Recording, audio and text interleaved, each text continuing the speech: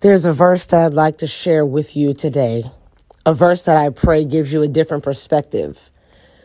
It is Colossians 1:17.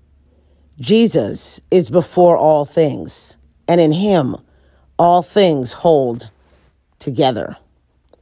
Do you feel like you are spiraling out of control? Apply this verse and realize that in him all things hold together.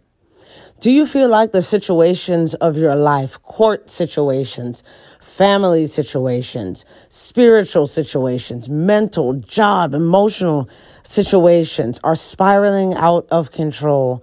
Realize that in Him, all things hold together. But you have to ensure that it is in Him.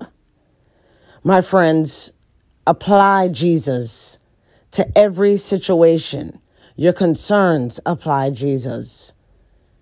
Things that are, you are not sure about, about apply Jesus. Things that you don't know where to begin or where to end, apply Jesus.